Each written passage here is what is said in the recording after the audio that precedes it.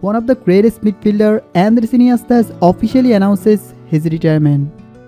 And after hearing this news, Messi shared this picture on his Instagram. Neymar, Ronaldinho, Jordi Alba and many other footballers also reacted on this news.